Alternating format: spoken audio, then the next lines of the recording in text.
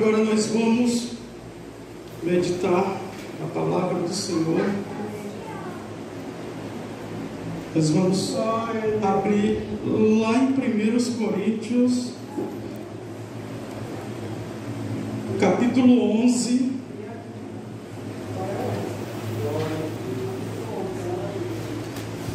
Abra aí sua Bíblia, 1 Coríntios capítulo 11. 11, 23. Nós vamos ler o, o 23 até o 25. Aleluia. É a base da Santa Ceia. E aqui onde a gente vai extrair aqui ó, a mensagem desta noite.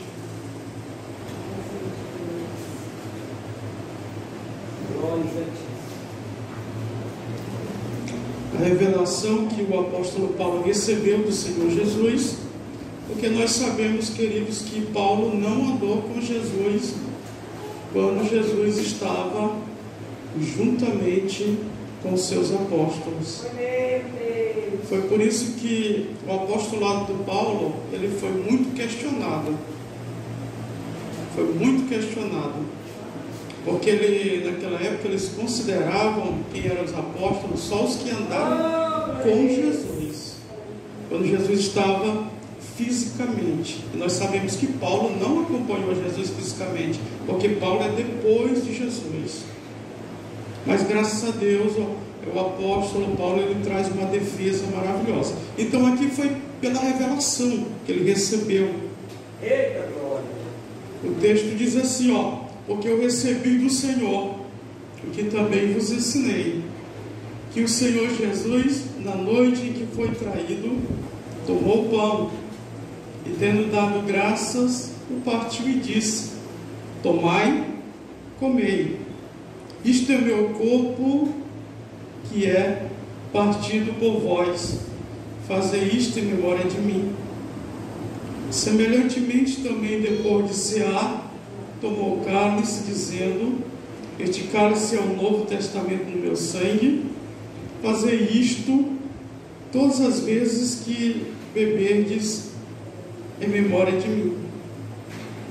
Porque todas as vezes que comerdes este pão e beberdes este cálice, anunciai a morte do Senhor. Amém. Sente-se. Deve sentar, muito obrigado por você ficar em pé comigo. Quero que você preste atenção. Eu não sei se você notou,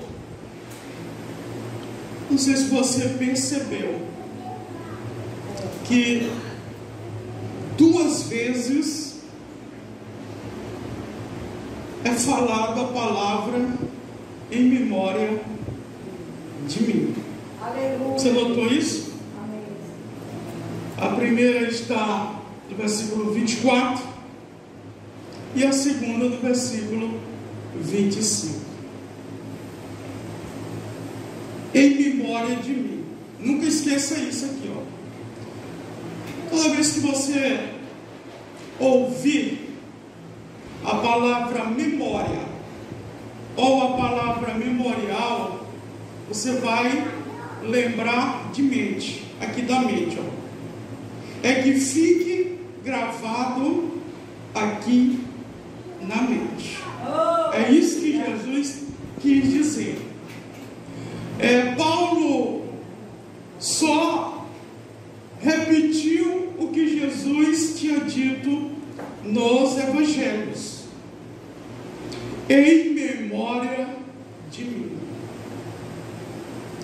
Olha, todo crente ele tem que fixar isso dentro dele, dentro da sua mente, que ele tem que lembrar-se de três coisas. Três coisas você Você tem que colocar dentro da tua vida, dentro da tua memória, e sempre lembrar e nunca esquecer, e sempre obedecer para que fique gravado na tábua do teu coração, que é a tua mente. Oh. A primeira memória que você tem que ter é a memória do sacrifício de Jesus.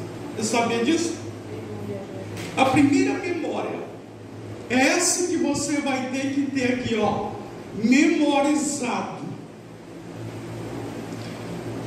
Olha, quando você lê, estuda, relê o que está escrito em Mateus capítulo de número 26, do versículo 34 ao 46, ele vai falar acerca de um local onde Jesus estava e seus discípulos estavam. Era um local que Jesus gostava de orar. Que local era esse?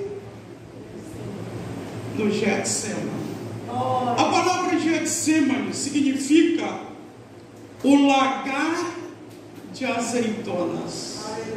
Era ali um jardim onde tinha algumas plantações de azeitona. E lagar significa era onde eles prensavam as azeitonas para sair o suco dela e fazer o azeite de oliva. Se você substituir, eu sei que não é barato o azeite de oliva, mas se você substituir pelo óleo de canola, pelo óleo de milho, pelo óleo de soja, que entope a artéria do teu coração, melhor para a tua vida, que o azeite de oliva não faz isso, mas esses óleos citados fazem isso. Se você puder substituir, substitua. Se você verificar, Israel até hoje é um dos exportadores de azeite de oliva a nível mundial, viu? Até hoje tem plantações de azeitonas lá. Queridos, quando Jesus entrou no Getsemane, tem muitas pessoas que pensam que Jesus tinha medo da morte. Não, meus amados. Ele já sabia, antes de ser homem, porque ele recebeu o plano, não foi quando ele foi homem. É quando ele estava lá na glória. Ele recebeu o plano de Deus aqui na terra. Então, quando ele entrou no Getsemane, não foi para escapar da morte, e sim para se preparar para a morte. Eu não disse, acabei de dizer que no Getsemane é o lugar de preparação em que pega-se as azeitonas e separa do caroço e também do seu suco. Jesus foi para lá para fazer isso. Aonde a Bíblia diz que ele orou intensamente em que o seu suor tornou-se em gota de sangue. Uma preparação, queridos, que significou uma decisão mais importante da história. Se você pegar o livro de história, você vai ver a história mundial. Se você pegar a história, a história está dividida em duas partes: antes de Cristo e depois de Cristo. Então foi uma decisão tomada ao qual entrou na história. Aí tem uma banda aí, oh meu Deus, tem uma banda diabólica aí chamada ACDC, significa antes de Cristo e antes de Deus. Aí, oh meu Deus, a banda satânica aí, dizendo que eles são antes de Cristo e antes de, de Deus. Quando eu, eu olho esse nome ACDC, aí o símbolo é um relâmpago é, aquilo que Jesus viu Satanás descer, lá no capítulo 10 de Lucas, e o versículo 19. Antes de Cristo e antes de Deus eles são. Então, queridos, o primeiro memorial que tem você e você nunca esquecer é o memorial, a memória acerca do sacrifício de Cristo. Eu e você, nós só estamos aqui esta noite é porque Cristo morreu por nós. Você sabia disso? Se ele não tivesse morrido por nós, nós estaríamos todo mundo no inferno. Sabia disso? O nosso corpo estaria morto, mas a nossa alma estaria viva, pegando fogo no inferno, para ser lançado depois no lago de fogo, que é a segunda morte.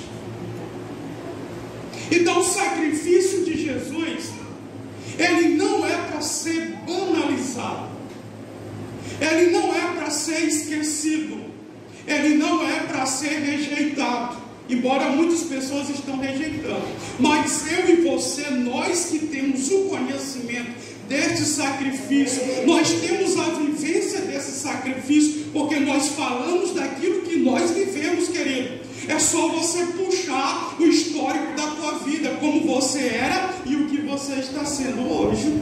Graças a Deus, meu Pai. Eu só conto o meu testemunho no passado, do 19 anos para trás, só para quando é para dar o testemunho mesmo, mas a gente tem nojo, a gente tem repulsa do nosso passado. É só para testemunhar para a pessoa. Então o sacrifício de Jesus, ele nos substituiu. Nos substituiu. Era para estar eu e você pregado naquela cruz fora da cidade de Jerusalém, da 9 horas da manhã até 3 da tarde, no sol quente, ali sofrendo naquele madeiro, naquela cruz. Era para mim você estar ali, pendurado naquela cruz. Só que ele foi e nos substituiu.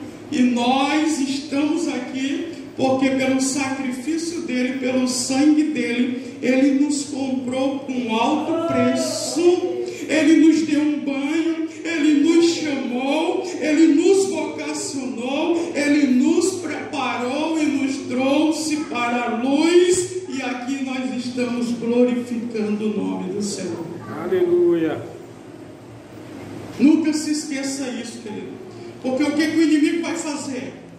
Ele vai trabalhar até o arrebatamento, até o teu último dia da, da vida aqui na terra. Ele vai trabalhar para que você esqueça desse sacrifício de Jesus. Ele vai trabalhar, querer roubar da tua mente, vai trabalhar na tua mente para que tu venha ao ponto de blasfemar contra esse sacrifício. Ele quer fazer com que a tua mente rejeite o sacrifício de Jesus. É isso que ele quer. É isso que ele trabalha para os, no, na mente dos cristãos, do, dos crentes, daqueles que estão servindo a Deus. Mas só que eu e você nós temos que rejeitar no nome do Senhor Jesus. Nós temos que pôr o capacete da salvação e refutar, rechaçar, destruir, todos os ardis de Satanás e dizer que para ele que ele não tem mais vez na nossa mente, porque a nossa mente ela já foi limpa pelo sangue de Cristo, e a Bíblia diz em 1 Coríntios capítulo 2, versículo 16, Paulo diz que agora nós temos a mente de Cristo. Se temos a mente de Cristo, logo o sacrifício dele está dentro dessa mente aqui. Meus amados, eu e você, nós estamos melhores do que muita gente.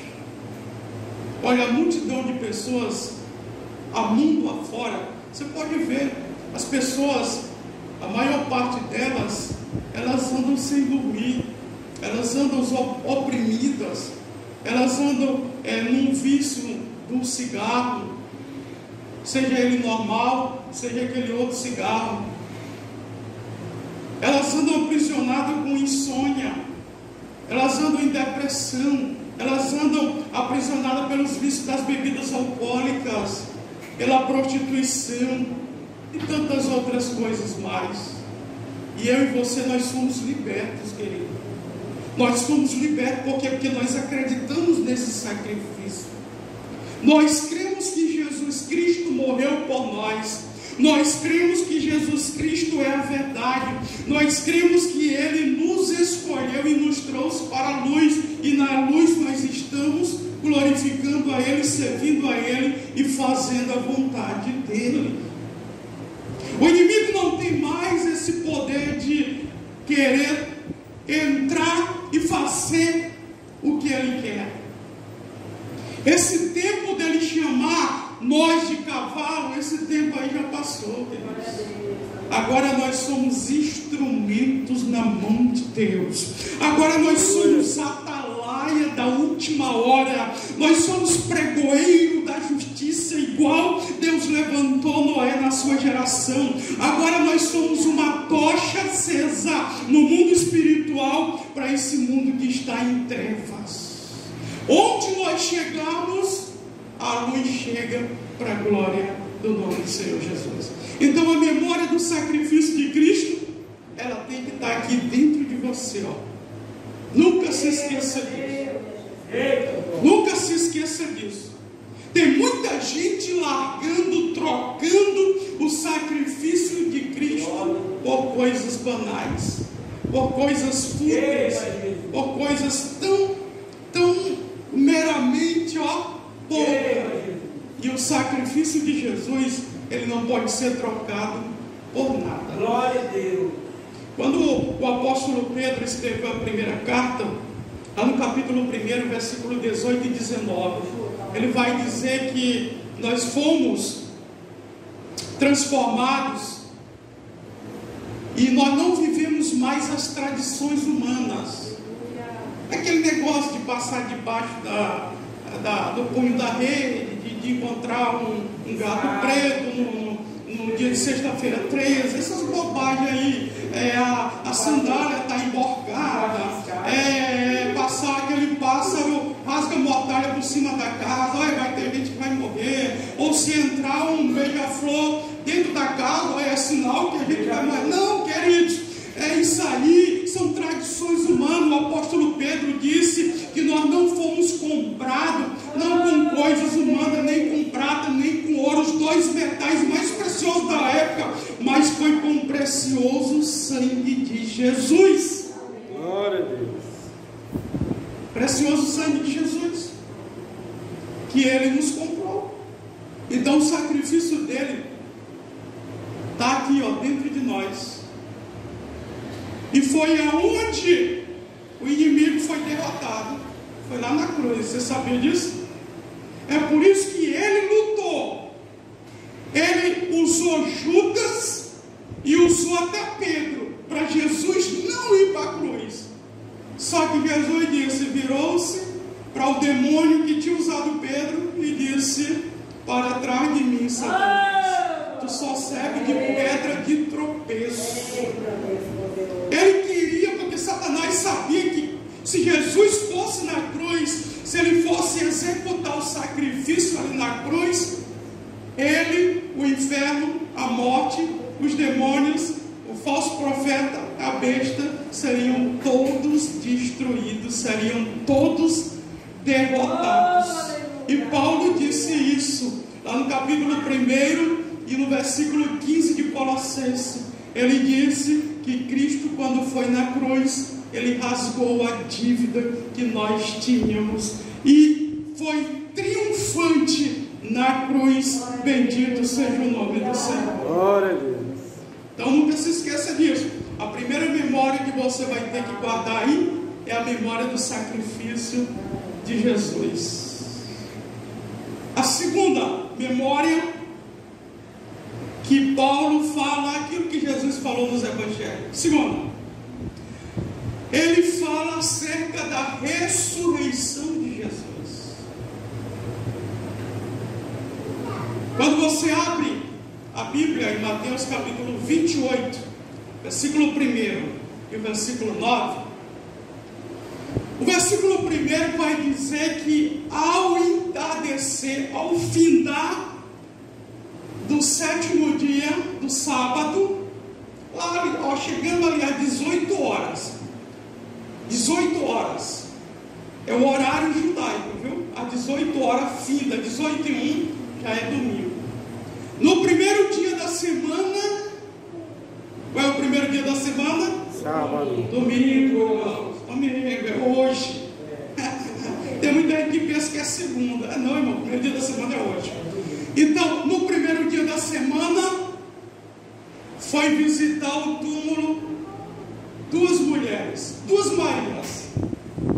A primeira, Maria Madalena, ao qual Jesus expulsara oito demônios do corpo dela. E a segunda, Maria, que eu não sei te dizer, porque no Novo Testamento são cinco Maria. Não me pergunte que Maria era essa. Eu não sei informar, que o texto não é bem claro. Então, essas duas Marias foram visitar o túmulo. No versículo 9, diz que elas encontraram Jesus. E logo pegaram nos seus pés, se prostraram e começaram a adorar. Tem pessoas que diz que Deus não valoriza as mulheres. Queridos, as primeiras pessoas que viram Jesus depois que ele ressuscitou foram as mulheres, irmão. Foi as mulheres. Ele poderia usar o seu Espírito Santo, tocar no coração ali de Pedro ou de Tiago e fosse lá no túmulo, não. Mas ele se revelou para as mulheres, valorizando as mulheres. O que, que isso significa? Que Jesus ressuscitou. Você pode ver que o ensinamento dos apóstolos e a pregação dos apóstolos, eles falaram muito na ressurreição de Cristo. Eles acreditaram que verdadeiramente Jesus Cristo tinha morrido e, e verdadeiramente Jesus tinha ressuscitado ao terceiro dia, porque ele disse isso antes dele morrer.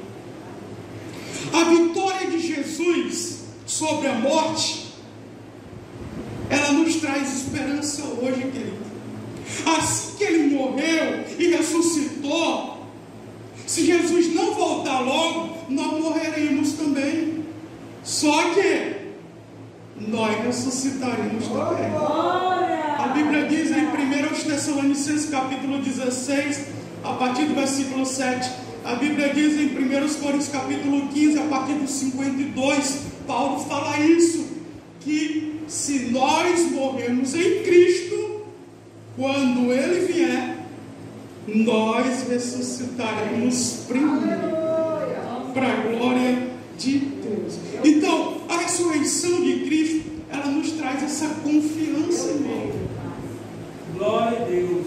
Nós, conhecedores da palavra, nós não podemos ter medo da morte, irmão. Não existe isso,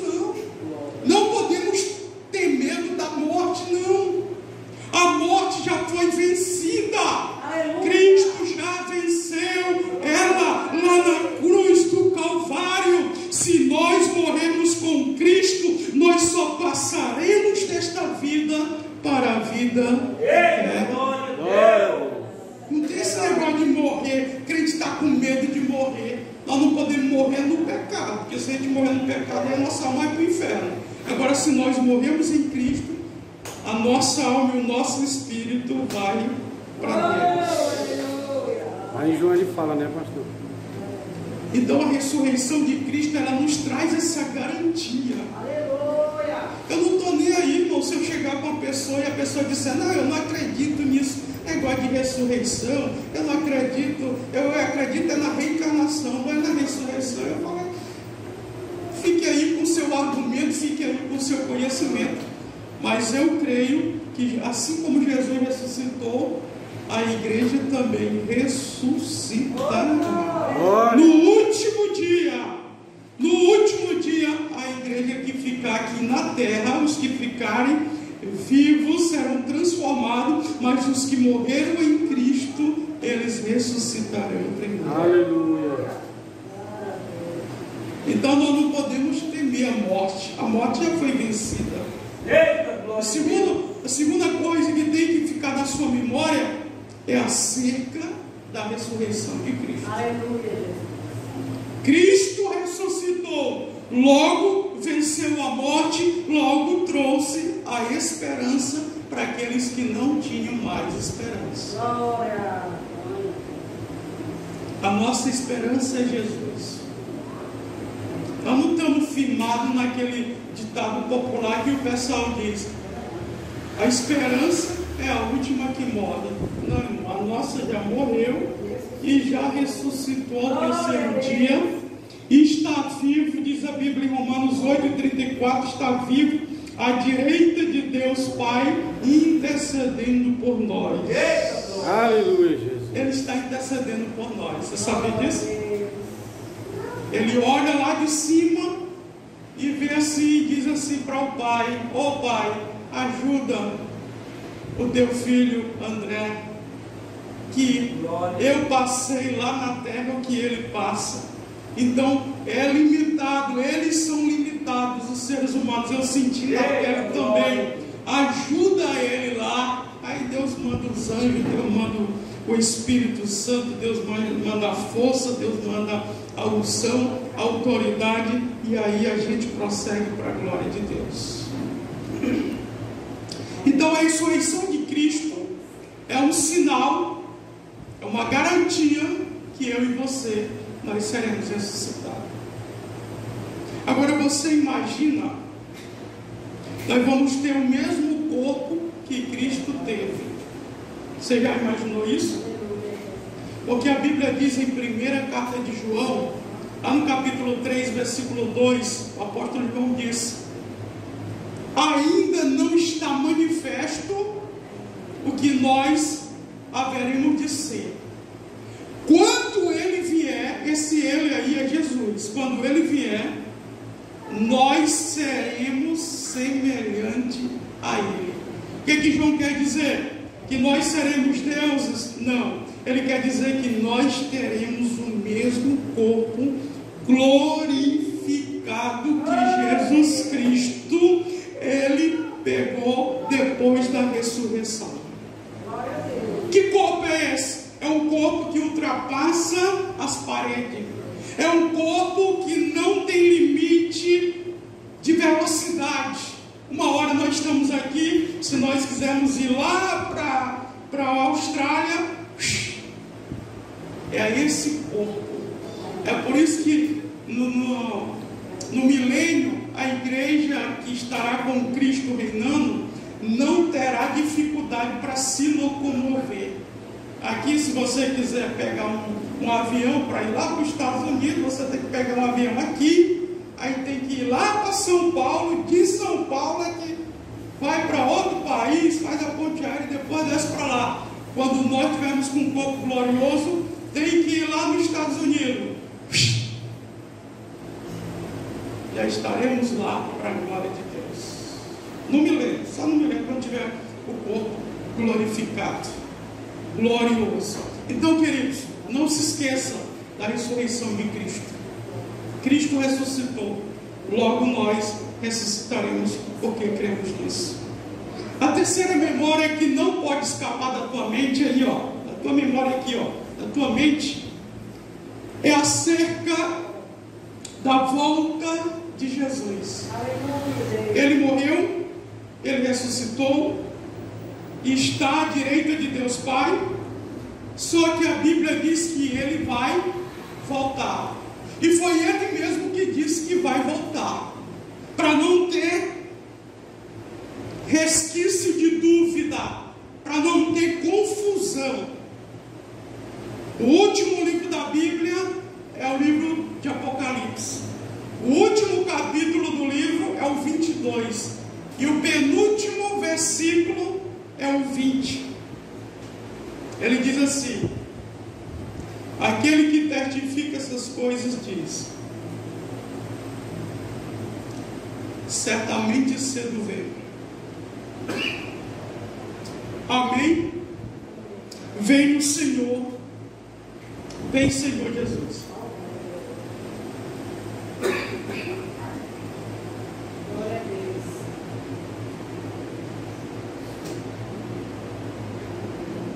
Apocalipse 22 e 20. Aquele que certifica estas coisas diz: Certamente cedo vem. Amém. Vem, Senhor Jesus. Esse cedo aqui,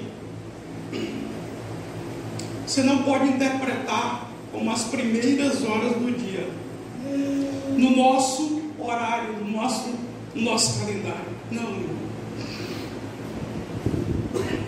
Ele vai vir no tempo dele. Este cedo vem. Ele está perto de vir, sim. Mas nós não sabemos quando será, mas que ele está perto, está. Nós estamos vendo os sinais acontecerem no mundo todo. Nós estamos vendo os sinais. Nós estamos vendo até o mar morto que não tem vida nenhuma. O teor de sal, 26% de sal. É o mar mais salgado do que os outros mares. E tu sabia que foram encontrados peixe no mar morto?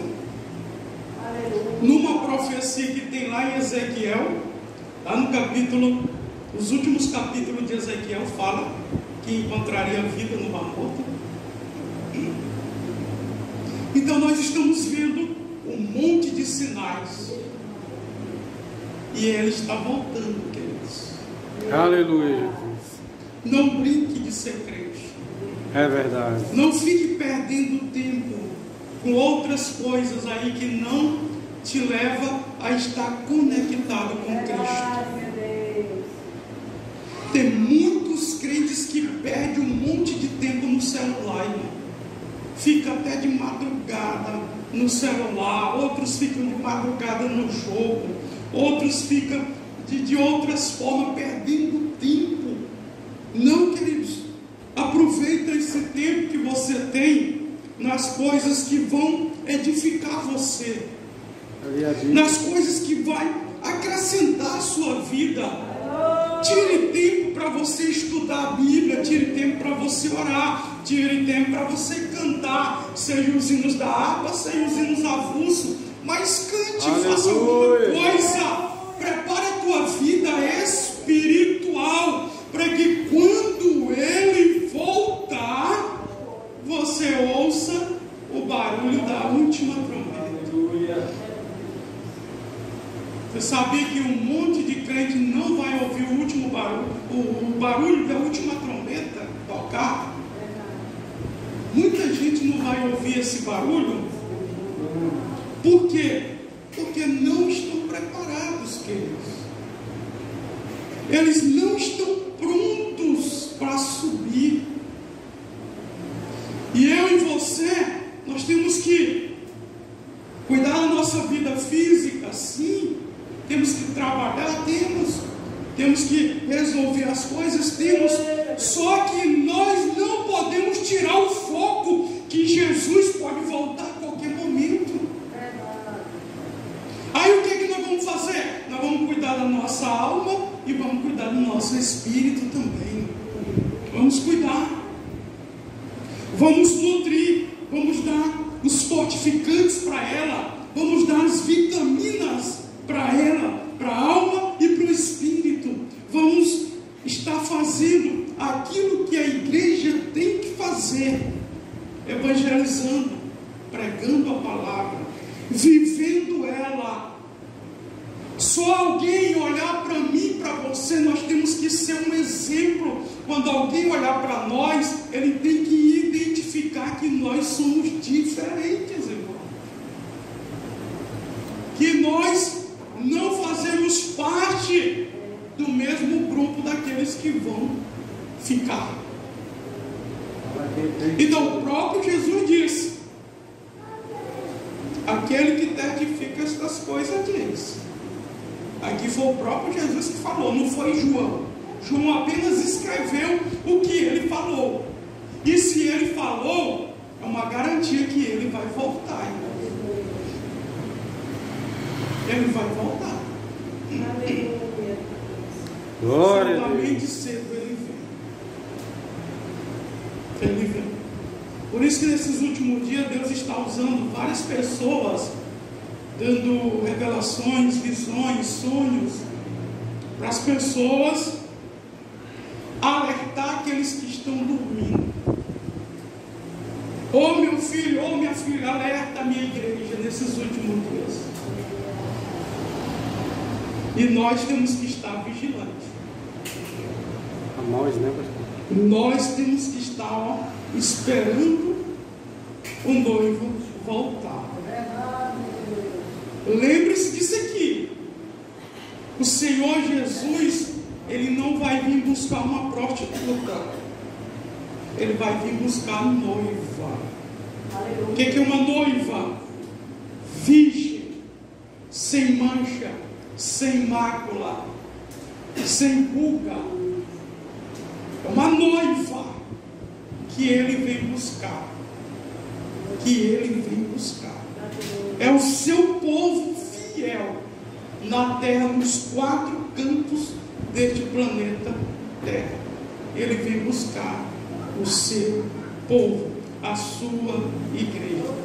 Então, aquilo que Paulo diz, ele diz que nós temos que memorizar, pregar, falar acerca da volta de Cristo. Ele está voltando. Trabalhemos enquanto é dia, que a noite vem enquanto ninguém mais pode trabalhar. Trabalhe, faça alguma coisa em prol do reino de Deus. Evangelize, discipule, ore por alguém. Faça alguma coisa. Faça alguma coisa, ajude alguém. Pregue a tempo e a fora de tempo. Fale de Cristo.